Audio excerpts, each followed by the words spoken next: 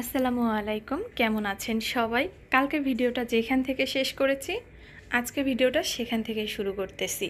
তবে পার্থক্য একটাই, আমি ছয় তারিখ রাত সাড়ে দশটায় ভিডিওটা শেষ করেছি আর আমাদের এইখানে আজকে সাত তারিখ সকাল সাড়ে নয়টা বাজে। তবে কালকে সাড়ে দশটায় ভিডিও শেষ করার সাথে সাথেই কিন্তু ঘুমিয়ে যায়নি সব কিছু তো ক্যামেরায় দেখানো সম্ভব না। অনেক কাজ বাকি ছিল, সেইগুলো করে ঘুমাতে ঘুমাতে রাত একটা বেজে গিয়েছিল। তো তখন আর চাপ নাই নাই। এই সোফাটা আমার এই দিকে ছিল, তো আমি তো একা সরাতে পারব না। আর দিনের বেলায় লিখন সময় পাবে না, রাতেই ও সরিয়ে দিয়ে গিয়েছে। আর দেখতেই পাচ্ছেন আমার ঘরের বর্তমান অবস্থা। এইগুলা তো আমি করতে পারব, এইগুলো এখন আমার ঠিক করতে হবে। অনেকে আবার ভাবেন যে ওই আপুর ঘর সুন্দর থাকে, ওই আপুর ঘর সবসময় হচ্ছে সুন্দর থাকে বা ওই আপু, এই আপু, এইভাবেই অনেকে ভাবেন। আসলে কারোর ঘরই সবসময় সুন্দরভাবে গোছানো থাকে না। সবাই চেষ্টা করে তবে বাচ্চা কাচ্চা থাকলে, অনেক মানুষ থাকলে একটু এলোমেলো হয়। ঘর তো দূরের কথা, সামান্য ফ্রিজের মধ্যেও মাঝে মাঝে ঝগড়া গণ্ডগোল হয়ে যায়। কারণ আমরা যেহেতু দুইজন মানুষ, আমাদের ফ্রিজটা মিডিয়াম সাইজের, তো অনেক সময় আছে যে আমি ডিপ ফ্রিজের জায়গা খুঁজে পাই না, এত জিনিস হয়ে যায়। পরে যদি আবার সুন্দর করে গুছাই, জায়গা খুঁজে পাই। তো ফ্রিজের মধ্যেই জঙ্গল হয়ে যায় আর ঘর বাড়ি তো দূরের কথা। তবে আমি যেহেতু একা মানুষ, আমি সবসময় গুছিয়ে রাখার চেষ্টা করি। তবে যে সরিয়েছি, এই জন্য আমার ঘরের অবস্থা এরকম। তো আমি ঘর ঠিক করব, করার পরে ঘর ঝাড়ু দিব ভেকুম দিব, তারপরে মুছবো। আর এই যে আমার ঘরের এই অবস্থাটা দেখতেছেন, এটা কিন্তু প্রথম না। যারা আমার খুব কাছের মানুষ, আমাকে অনেক দিন ধরে চিনে, তারা জানে যে আমার মাঝে মাঝে মাথার ভিতরে ভূত চাপে কিংবা আমার মাথায় একটু গন্ডগোল আছে। আমি এই পাশের জিনিস, ওই পাশে, ওই পাশের জিনিস, এই পাশে রাখি। কারণ আমার কাছে মনে হয় এক জিনিস একই জায়গায় যদি অনেক বছর ধরে থাকে, তাহলে ঘরটা কিন্তু একই রকম দেখা যায়। তো জায়গা থাকলে একটু অর্ধেক চেঞ্জ করলাম, করলে ঘরটা একটু নতুন দেখা গেল।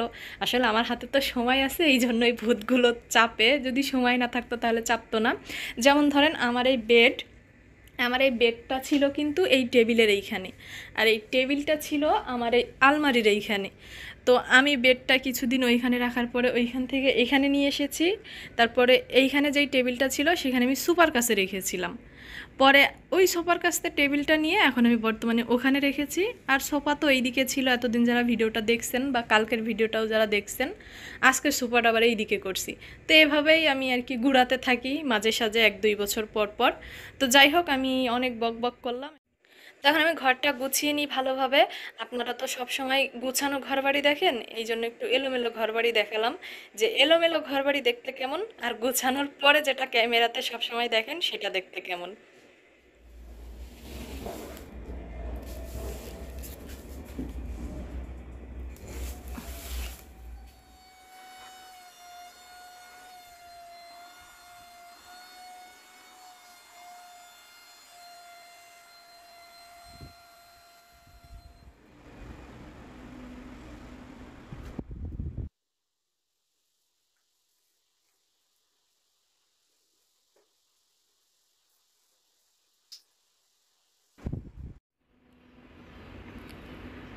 আপনারা সাধারণত কম বেশি সব ভিডিওতেই সাজানো গোছানো ঘরবাড়ি দেখতে পান।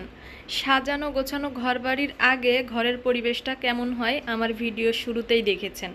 সবার ক্ষেত্রে সবার ঘরের পরিবেশ এমন হয় না, আমার মতো যারা এলোমেলো করে তাদেরই এমন হয়। আমার সোফা ওই সাইডে ছিল, আমি এই সাইডে নিয়েছি। ফুলদানির পাশে একটা শোপিসের উপরে অ্যাকোরিয়ামটা ছিল। অ্যাকোরিয়ামটা এখন আমি টেবিলের উপরে রেখেছি। আর শোপিসটা সরিয়ে আমি সুপার পাশে রেখেছি। আর শোপিসের উপরে আমি টিস্যু রেখেছি। ব্যবহার করা টিস্যু ফেলার জন্য একটা ডাস্টবিন বক্স রেখেছি। অনেকে খাওয়া দাওয়া শেষ করার পরে টুথপিক দরকার হয়, তো আমি এখানে দুই ধরনের টুথপিক রেখেছি। খাওয়া দাওয়া শেষে সবাই তো সোফায় বসে, যাতে এখান থেকে নিতে সহজ হয়, এই জন্য আমি সোফার পাশে রেখেছি। ফ্রিজের উপরে ফুলদানি আছে, আর এখানে একটা ফ্রিজ ম্যাগনেট আছে, এটা আমাকে ইভা আপু দিয়েছিল। আর সোফার সামনে টি টেবিল, টি টেবিলের উপরে আমি পানি রেখেছি, একটা ছোট ফুলদানি রেখেছি, আমার নিজে হাতে ভাজা ছোলা আর চাল, আর এখানে আছে এই যে শুকনা মরিচ দিয়ে ব্লেন্ড করা বিট লবণ, আর এই যে অ্যাকোরিয়ামটা, আর এই যে আমার চ্যানেলের নাম। আর এখানে যেই টেবিলে আমরা খাওয়া দাওয়া করি, সেই টেবিলে একটা টিস্যু বক্স আছে, আর দেশ থেকে আনা খাঁটি গাওয়া ঘি, আমার মার হাতের আম তেল, মালয়েশিয়ায় বানানো আমার হাতে আম তেল, আর এটা হচ্ছে ঘানিতে ভাঙানো খাঁটি সরিষার তেল এটার মধ্যে আছে হচ্ছে খেজুর বা খুরমা। এই হচ্ছে খাবার টেবিলটা, আর এই কার্পেটটা আমি নতুন কিনেছি। আসলে যে সে কার্পেট কিনলেই তো হয় না, ঘরের সাথে মানানসই কার্পেট হলে ভালো লাগে। যেমন আমার সোফার কালার, আমার এমনি ঘরে সাধারণত যেই কার্পেট আছে, সেই কার্পেটের সাথে মিলিয়েই আমি এই কালারের কার্পেটটা কিনেছি। লাল, আকাশি, এইগুলা কিনলে তো দেখতে ভালো লাগবে না, তাই না? তো আপনাদের কাছে কেমন লাগতেছে? কার্পেটটা অবশ্যই জানাবেন, আমি একটু কাছ থেকে দেখাই। এই যে দেখুন অনেক খুঁজে খুঁজে আমার ঘরের সাথে মানানসই কার্পেট কিনেছি আমি। আর এটা হচ্ছে এই যে আমাদের শোবার ঘর। আমি তো বাংলাদেশ থেকে চারটা বিছানার চাদর আনিয়েছিলাম। আমার কাকি কিনে দিয়েছিল, ভেবেছিলাম এটা ঈদে বিছাবো। তো আমার বাসায় যারা আসবে আট তারিখে, সেদিনই আমাদের ঈদ হবে। কারণ ঈদ হওয়ার এক সপ্তাহ পর পর্যন্তও কারোর সাথে, একসাথে দেখা হবে না। হয়তো এক এক করে দেখা হবে। আর আমার বাসায় হয়তো ঈদের এক সপ্তাহ বা দুই সপ্তাহ পরে আবার সবাই আসবে।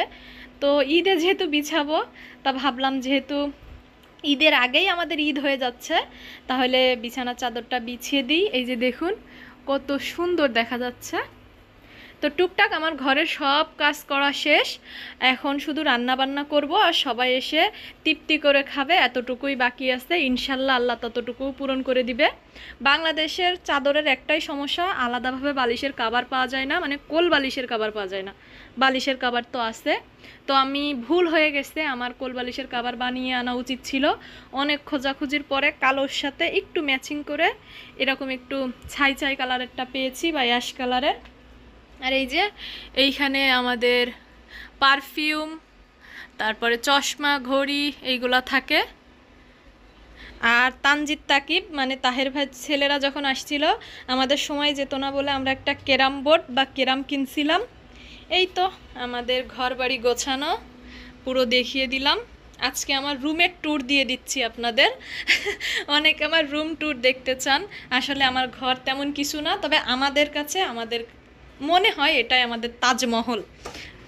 আর এই যে আমার রান্নাঘরটা আমি এইভাবে করে গুছিয়ে রেখেছি, এইখানে ফিল্টারে যখন তখন পানি খাওয়া লাগে, তো আমি একটা এমন ঢাকনাযুক্ত মগ বা গ্লাস কিনেছি, সবসময় ঢেকে রাখি, পানি খাওয়ার সময় পানি খাই। আর এই যে রাইস কুকার, এই জিনিসটা আমি চার পাঁচ বছর ধরে খুঁজতেছিলাম, অনেক শখের জিনিস কিনেছি। কাজ করতে করতে হঠাৎ মাথা ঘুরে উঠেছে। এর উপরে যে ঢাকনাটা, সেটা আমার হাত থেকে পড়ে যে ভেঙে গেছে। মনে হলো আমাকে কেউ ধাক্কা দিছে। এখন আমি ভাবতেছি আমাকে শয়তান বা জিন ধাক্কা দিছে কিনা। মাথা ঘুরছে, ঠিক আছে, কিন্তু এটা কিন্তু অনেক হাডি অনেক শক্ত। কীভাবে ভেঙে গেল আমি জানি না। শখের জিনিস ভেঙে গেছে, খারাপ লাগতেছে। আর এইখানে এই যে ডিশ ওয়াশ আছে, এখন আমি কালকের জন্য এখানে ডাল ভিজিয়ে রেখেছি। এই ডাল এখন আমি বেলেন্ড করে রাখব। যাতে কালকে পেঁয়াজি বানাতে সুবিধা হয়। এর মধ্যে কিন্তু নিজেদেরও রান্না বান্না করেছি, এই যে ইলিশ মাছ রান্না করেছি, বেশি কিছু করি নাই। এখন আমি এই ডাল বেটে রাখব, সাথে করব হচ্ছে পেঁয়াজ বেরেস্তাটা করে রাখব। আপনাদের সাথে কথা বলতে বলতে আমাদের এখানে বিদ্যুৎটা চলে গেছে, যেহেতু বাইরে বৃষ্টি হচ্ছে, এই কারণে হয়তো বিদ্যুৎ চলে গেছে। এত কিছু করছি, মনে হচ্ছে কত তাড়াতাড়ি করছি না। আপনাদের সাথে যখন আমি ভিডিওটা শুরু করছি, তখন আমার এখানে বাজছিল সাড়ে নয়টা। এখন দেখেন কয়টা বাজে। ঘরের রান্না বান্না, ঘর গোছানো, নিজের গোসুল, তারপরে হচ্ছে মুরগি খা, মুরগিকে খাবার দেওয়া, গাছে পানি দেওয়া, মাছকে খাবার দেওয়া, সব কাজ করতে করতে সাড়ে নয়টা থেকে সাড়ে ছয়টা বাজছে। ভিডিও শুরুতে দেখলেন যে ঘর এলোমেলো তার কিছু সময় পরে দেখলেন ঘর বাড়ি পুরো পরিষ্কার। মনে হয় আল্লাহ এদের মনে হয় মেশিন লাগানো আছে, কত দ্রুত হয়ে যায়। আসলে আসলে সব কিছু তো আর ক্যামেরায় ভিডিও করা যায় না। এলোমেলোটা দেখিয়েছি, গোছানোটা দেখিয়েছি। মাঝে কতটুকু সময় চলে গেছে, এটা তো আর কেউ দেখতে পায় না। বিদ্যুৎ চলে গেছে, ঘর অন্ধকার, আর বেশি কথা না বাড়াই আমি বাকি কাজগুলো করে নিই। আমার এখনও অনেক কাজ বাকি। হঠাৎ করে আমাদের এখানে প্রচুর পরিমাণে বৃষ্টি শুরু হয়েছে। আর বৃষ্টি হলেই বর্জ্যপাত হয়। আমাদের বিদ্যুতের মেন সুইচটা অটোমেটিক বন্ধ হয়ে যায়। তো সেই সময় কথা বলতে বলতে বিদ্যুৎ চলে গিয়েছিল। কিছু সময় পরে লিখন মেন সুইচ উঠিয়ে দিয়েছে। কারেন্ট আসার পরে আমি বেলেন্ডার জায়গায় সব ডাল নিয়ে বেলেন্ড করে নিয়েছি। এখানে দুই রকমভাবে আমি পেঁয়াজ বেরেস্তা করেছি, দুই ধরনের খাবারে দিব তাই। একটা একটু কড়া করে ভাজি করেছি আর একটা হালকা ভাজি করেছি। তো আমার তো সব কাজ শেষ। লিখন এখন বাইরেটা সুন্দরভাবে ধুয়ে পরিষ্কার করতেছে। ওই যে আগের ভিডিওতে বলেছি, আমরা ঘর গুছানোর পাশাপাশি বাইরেটাও সুন্দরভাবে গুছিয়ে নিই। তো বাইরেটা ধোয়ার পরে অনেক সুন্দর দেখা যায়। ঘরটা তো দেখালাম। কালকে সকালে ইনশাল্লাহ আপনাদেরকে বাইরের পরিবেশটাও দেখাবো। অনেকটা জায়গা নিয়ে আমাদের বাড়ি, আর বাড়ির বাইরেটা ধুতে অনেক সময় লাগে। কালকে যখন ধোয়া শেষ হয়েছে, অনেক রাত হয়ে গিয়েছিল। অত রাতে আমি ভিডিও করলে আমাদের বাইরের সৌন্দর্যটা আপনারা বুঝতে পারতেন না। এই জন্য পরের দিন সকালে ভিডিওটা করতেছি। আমাদের বাসায় ঢুকতে হাতের ডান পাশে আর হাতের বা পাশে বেশ কিছু কলা গাছ আর পেঁপে গাছ লাগানো আছে, আর কলা গাছে কলাও আছে। তারপরে আমাদের গাড়িটা রাখা আছে। দুই তিন পা আগানোর পরে বেশ কিছু গাছ লাগানো আছে। এই গাছগুলো আমরা বিভিন্ন জায়গা থেকে, বিভিন্ন নার্সারি থেকে সংগ্রহ করেছি। কম করেও তিন সাড়ে তিন বছর লেগেছে। মাঝে যেহেতু আমি অনেক সময় অসুস্থ ছিলাম, এই জন্য আমার এক্স্যাক্ট সময়টা মনে নেই। এই গাছগুলো খোলা মাটিতে লাগানো থাকলে অনেক বড় হয়ে যেত, যেহেতু টবে লাগানো একটা মানানসই সাইজ আছে। তো এই গাছগুলো পার হওয়ার পরে আমাদের ঘরে ঢোকার মেন গেট গেট থেকে পরে ঢুকে ভিতরটা দেখাবো। আগে বাইরেটা দেখিয়ে শেষ করি। তো মেন গেট থেকে বেরোনোর পরে এখানে পাখির খাঁচা রাখা আছে। যারা আমার আগের ভিডিও দেখেছেন, মনে থাকতে পারে আমার পাখির খাঁচায় প্রচুর পাখি ছিল। আমি অসুস্থ হয়ে দেশে চলে যাওয়ার পরে অনেক পাখি মারা গেছে। পাখির খাঁচার পাশে আমার খুব পছন্দের আর শখের একটা গাছ লাগানো আছে। এই গাছটা হচ্ছে অপরাজিতা গাছ। অনেক ছোট থাকতেই আমার শখ ছিল আমার বাড়িতে অপরাজিতা গাছ লাগাবো। আমি তো বিয়ের পরে মালয়েশিয়ায় চলে আসি, এই জন্য শখটা আর পূরণ হচ্ছিল না। তো আমার বাসার কাছে সন্তোষা নামে একটা হসপিটাল আছে। হসপিটালের পিছনে আমি অপরাজিতা গাছ দেখেছিলাম। তো বিভিন্ন নার্সারিতে খোঁজার পরে গাছটা পেয়েছি, আর কত সুন্দর হয়েছে দেখতেই পাচ্ছেন। তো ইচ্ছা আছে আজকে অপরাজিতা ফুল দিয়ে আমি লেবুর শরবত বানাবো, ইনশাল্লাহ। তো আবারও উপরে উঠে গেলাম। উপরে ওঠার পরে এই সাইডে যেই গাছগুলো লাগানো আছে, সেই গাছগুলো আবারও এই সাইডেও লাগানো আছে, এই যে। তারপরে এইখানে আমার খুব পছন্দের একটা গাছ আছে, ফুল গাছ। আর এইখানে যেই গাছগুলো, এগুলো খুবই সেন্সিটিভ গাছ এইগুলোতে নিয়মিত সার দিতে হয় মাসে একবার। তারপরে হচ্ছে প্রতিদিন দুইবার করে পানি দিতে হয়, প্রচুর পরিমাণে রোদের দরকার পড়ে। তো এটা ঝাউ গাছ, লিখনের অনেক পছন্দের গাছ। এখানে গোলাপ, সাদা টগর, নয়নতারা, আরও একটা গোলাপ আর এটা কাগজ ফুল বা গেট ফুল গাছ। তো এখানে প্রচুর পরিমাণে ফুল আছে আর প্রচুর পরিমাণে ফুল ধরতেছে।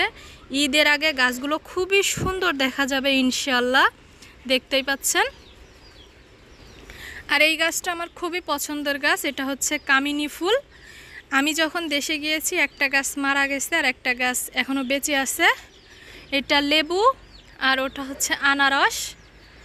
তো এই হচ্ছে আমার বর্তমান বাইরে ফুল বাগান বা ফুলের গাছ, এই যে দূর থেকে একটু দেখায় এই যে দেখুন। মানুষ যেহেতু বেশি, বাইরে বসার সুব্যবস্থা করা হয়েছে। মজা করলাম। বাইরে চেয়ার টেবিল দেওয়া হয়েছে। ভাইয়ারা বা পুরুষরা সবাই বাইরে বসবে। এখানে টেবিল দেওয়া হয়েছে। এই টেবিলে খাবার দিয়ে বুপে সিস্টেম করা হবে। আপুরা বা মহিলারা, আমরা সবাই ঘরের ভিতরে বসবো ইনশাল্লাহ। আর এই যে আমার শখের আর ভালোবাসার দোলনা, এই দোলনাটার মূল্য কত জানেন? অমূল্য। আমার অনেক শখ ছিল একটা দোলনা থাকবে। আর এই দোলনাটা কিন্তু আমি বাইরে থেকে কিনে নিয়ে আসিনি। আমার স্বামী নিজে হাতে ভালোবাসা দিয়ে এই সম্পূর্ণ দোলনাটা সে নিজেই বানিয়েছে। দেখতেই পাচ্ছেন দোলনাটা কত সুন্দর। আর দোলনার সৌন্দর্য আরও বাড়ানোর জন্য আমি দোলনার উপরে এই মানি প্ল্যান্ট গাছটা উঠিয়ে দিচ্ছি। মাঝে মাঝে লিখন একটু সাহায্য করে যে উপরে, কি বলে এগুলাকে, নারিকেলের ছুবলা টুবলা দিছে যাতে ভালোভাবে উঠে। আর এইখানে দেখুন ঘাটকোল গাছ আমাদের আগে যেই ভুই ছিল, সেই ভুই থেকে আমি ঘাটকল নিয়ে এসেছিলাম আর লাগিয়েছি। মাশাল্লাহ কত সুন্দরভাবে ঘাটকোল ঝাঁকড়া হয়ে উঠেছে। এইখান থেকে আমার বাড়ির পরিবেশটা দেখুন। এবার সামনে আগিয়ে যাই। যেহেতু ছোটোখাটোভাবে পুরো বাড়ির ট্যুরটা দিচ্ছি, তো ভিডিওটা ছোটোখাটো হবে না, হয়তো বিশ মিনিট পার হয়ে যাবে। কিচ্ছু করার নাই। আমি বারবার তো আর হোম ট্যুর বা বাড়ি ট্যুর দিতে পারব না। দিচ্ছি যেহেতু। মানে দেওয়ার ইচ্ছা ছিল না, যেহেতু হয়ে গেছে, দিয়ে দিচ্ছি। তো এখানে আমার মুরগি রাখা আছে, এই মুরগিগুলো ডিম পারছে, এদের ডিম আমরা খেয়ে ফেলেছি, এখন এরা তাওয়া দেওয়ার জন্য পাগলের মতো করতেছে। এইখানে আমার যে মুরগিগুলো আছে, এই মুরগিগুলোর বয়স দুই থেকে আড়াই মাস, এইগুলোর বয়স এক মাস। কি হলো? আমি তো তোমার কিছু কই নাই। আর এইখানে আমি কিছু মূলা গাছ লাগিয়েছিলাম। তো মূলা গাছে এই যে মূলা হয়েছে। এইখানে বেগুন গাছ। অনেকগুলো লাগিয়েছিলাম, দুইটা বর্তমানে বেঁচে আছে। এইখান থেকে আবার আমার বাড়িটা দেখাই। ওই যে আমাদের গাড়ি, ওই পাশ থেকেই কিন্তু আমাদের বাসায় ঢুকতে হয়। আর এইখান থেকে দেখতেই যেমন। বলতে হয় না, তারপরেও নিজের বাড়ি তো বলতেছি। কেমন সুন্দর বাংলো বাড়ি বাংলো বাড়ি মনে হয় না? অনেকটা জায়গা নিয়ে তো এই জন্য যাই হোক, আমি একটু মজা করি বেশি। আর ওইখানে ওই যে কাঁচকলা ছোর বা কাঁচকলার কাদ হয়েছে। আর কলা গাছ যেহেতু পরিষ্কার করা হয়েছে, কলা গাছের পাতা এখানে রাখা হয়েছে। পুড়িয়ে দেওয়া হবে শুকিয়ে গেলে। আর এখানে যে মুরগ মুরগিগুলো আছে, এই যে, এগুলোর অনেক বয়স। এইগুলা বাইরে ছাড়া হয় না। কুত্তা বিড়ালে খেয়ে নিবে সেই ভয়ে। এই যে।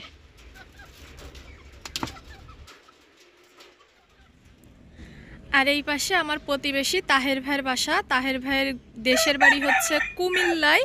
তো তাহের ভাইয়ের এই পাশে পেঁপে, কলা, আম, লাউ সব গাছই আছে। আর এইখানে যে গাছটা দেখতে পাচ্ছেন, আমরা যখন এইখানে প্রথম আসি, এই গাছটা অনেক ছোট ছিল, এখন অনেক বড় হয়ে গেছে। এই গাছটা হয় একটা সুবিধা হয়েছে কি, যে রোদ উঠলে এখানে একদম ঠাটা পড়া রোদ পড়ে না। ঠাটা পড়া রোদ মানে মাথা টাটা ফেটে যাওয়া মতো রোদ। তো যাই হোক বাইরেটা দেখানো শেষ। ভিতরটাও কম বেশি দেখিয়েছি। এখন মেন গেট থেকে ঢোকার পরে, আমার রান্নাঘর পরে, সেটা দেখিয়ে আজকের মতো ভিডিওটা শেষ করব ইনশাল্লাহ। তো চলুন ভিতরে ঢোকা যাক। মেন দরজা খুলে ঘরের মধ্যে প্রবেশ করতেছি বা ঘরের মধ্যে ঢুকলাম। মেন দরজা থেকে যখন বাইরের দিকে বের হব, হাতের ডান সাইডে আমি একটা জুতা রাখার জন্য র্যাক রেখেছি। এখান থেকে জুতা পরে বাইরে বের হতে সুবিধা হয়। এই সাইড থেকে আমাদের রুমে আসতে হয়। মাঝামাঝি আমাদের রুমের মেন দরজা। এই সাইডে আমাদের ফুলের বাগান আছে চেয়ার টেবিল রাখা আছে। চাইলে যখন তখন বসে সময় কাটাতে পারি। খুব সুন্দর মনোরম পরিবেশ। মেন দরজার সামনেই আমাদের পাখির খাঁচাটা রাখা আছে। মেন দরজাটা দেওয়ার পরে এখানে আমি একটা পানির ফিল্টার রেখেছি। অনেক সময় পানি খেতে ইচ্ছা করে, তো এই জন্য আমি সব সময় ইউজ করার জন্য একটা ঢাকনাযুক্ত গ্লাস রেখেছি। না হলে গ্লাসে ময়লা পড়ে যাবে।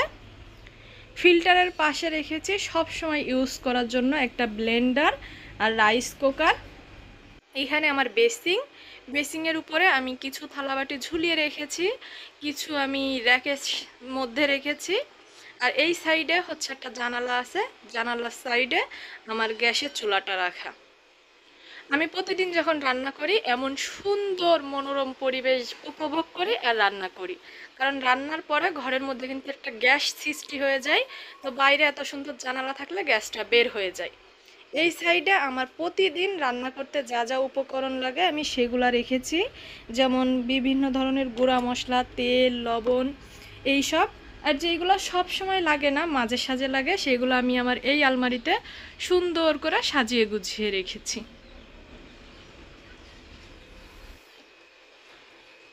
আমি সেদিন এনএসকে থেকে কিছু ডাল নিয়ে এসেছি আর লিখন সিরিমোডা থেকে ডাল নিয়ে এসেছে।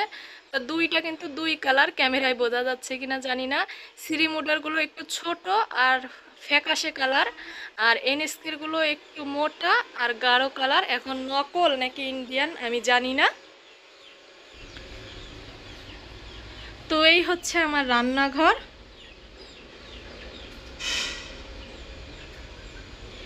এইটা তো মেন গেট মেন গেট থেকে ঢুকে হাতের ডান সাইডে আমার রান্নাঘর পড়ে, হাতের বা সাইডে আমাদের বাথরুম টয়লেট বা ওয়াশরুম এটা আমাদের রুমের দরজা।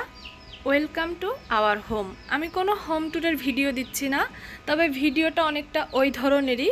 তবে হোম ট্যুর হোম ট্যুর ভাব, হোম ট্যুরের অভাব। ঘর এলোমেলো করেছিলাম, সেই ঘর সুন্দর করে কীভাবে সাজালাম, বাইরেটা লিখন পরিষ্কার করেছে।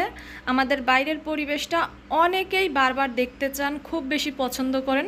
ভাবলাম এই ভিডিওতেই বাইরের পরিবেশটা একটু অ্যাড করে দিই। তার থেকেও বড় কথা, আমরা কিন্তু সব সময় এখানে থাকব না, কিন্তু এই ভিডিওটা আমার চ্যানেলে থাকবে।